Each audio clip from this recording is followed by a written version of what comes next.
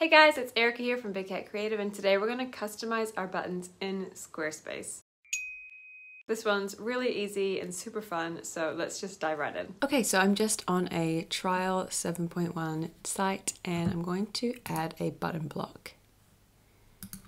Now, your site might look a little bit different than this. I'm currently using the Fluid engine. You could be on the classic editor, which looks a little different. Doesn't matter, the buttons still work almost the same.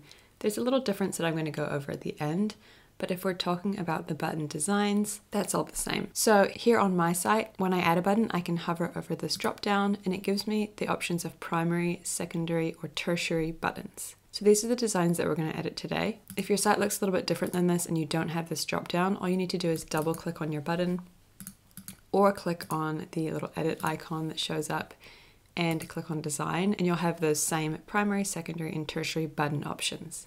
So if I click on it, you'll see that it will probably slightly change depending on what settings you already have set up.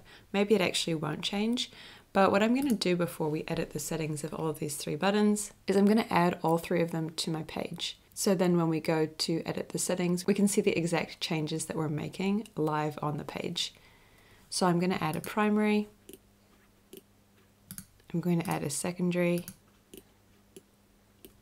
and I'm going to add a tertiary button.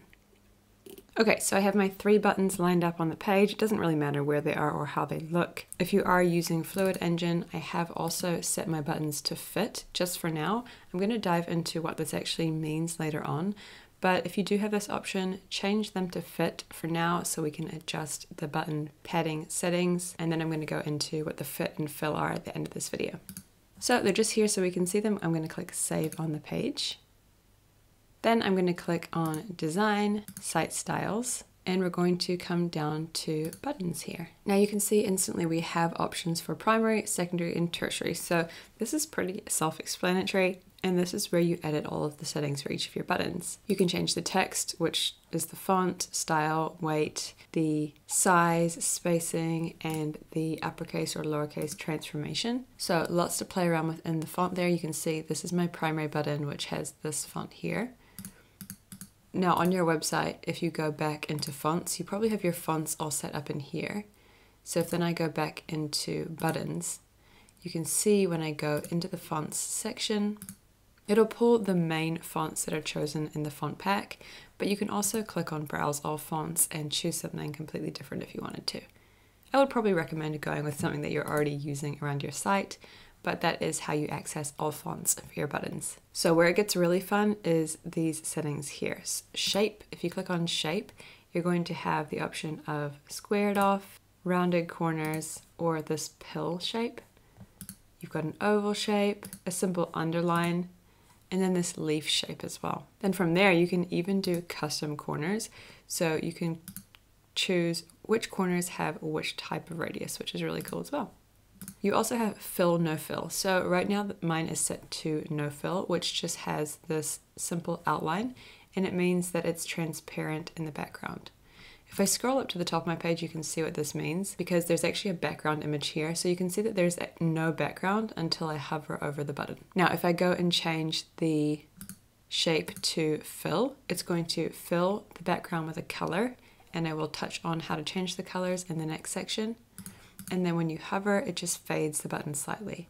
So if I scroll up, you can see now that we have the background color and the button is just fading. It still has an outline, so this one actually does have an outline. It's probably just white, so we can't see it. This one is black. Can adjust that here if you just want a simple color block button. So really there's just lots you can play around with and a ton of options. If you've been using Squarespace for a while, it's a lot more than there used to be, so it's really good. Now at the bottom here, you can adjust your button padding. So this is quite important depending on what size you want your buttons to be. The size really is made up of how big your font is and how much padding you have. So if we go back into font, I can adjust the font size. I'm just going to use this little slider here and you can see that overall makes my buttons smaller when I make the font smaller. But you can also play around with the padding. So this is the space between the text and the edge of the button. So you can see this is increasing my padding on these buttons. I'm going to take it back down because I think it looked better before. But this is quite important and really depends what you want to do with that button, how much padding you have on it. So play around with that until you're happy. And then of course you can do the exact same for secondary and tertiary. Or if you did just want them to be all the same for some reason, you could just click apply to all button types and it's going to carry over those exact same design settings for all three buttons. Now the colors are separate, like I said, I'm going to get onto that soon. So if you did want the same font and outline design, you could do this and you could still have separate colors. So that might be a reason you want to have all of the same design. You just want to have the same design in separate colors for those three different types of buttons. And I'll show you how to do that soon. Now there are lots of design options here. So I just want to do a quick disclaimer that although you can do three completely separate buttons, we do recommend keeping the similar theme throughout the buttons. So either having the same design and maybe slightly bigger or smaller button or the same design with a different color for each button. Basically, you just want to make sure all of your buttons are still cohesive. They can be different, but you want them to look like they belong on the same website together still. So don't get too carried away with all of the design differences. Okay, so I just quickly tweaked that secondary button and let's say I'm happy with my three button designs now. Now I just want to edit the colors for them. So the colors for your buttons work the same as all colors around your Squarespace 7.1 site if you've used 7.1 before and you have experience with colors, you'll probably know the drill here, but let me explain 7.1 colors to you anyway. So you change all of your main site-wide colors in your site styles in the same place we did the buttons. So click on colors. You can adjust your main palette here when you first set up your site. So you're gonna have five colors. One is usually a light white color and one is usually a black or dark color. And when you input your colors into that palette, it's going to give you all of these different color palettes. Now, mine has been adjusted. You can see some different colors here that aren't actually in my palette because I've actually gone through and edited the color themes individually. And you'll want to do that for your buttons if you want to.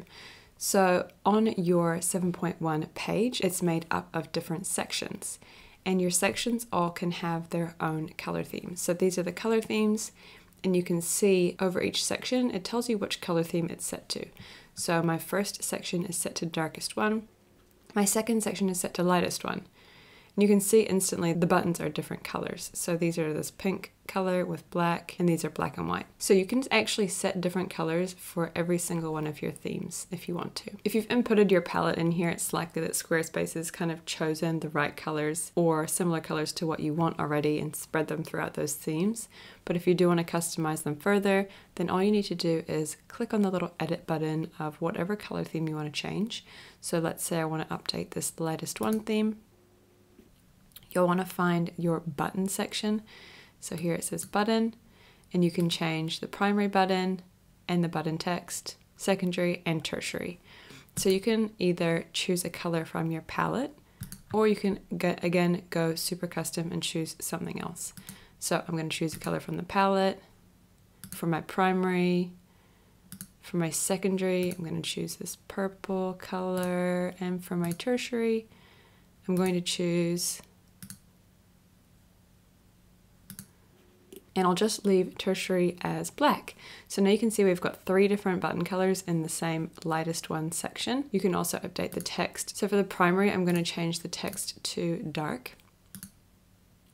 And you can see that the text doesn't actually update until it's hovered over. This is just how it works for the no fill button.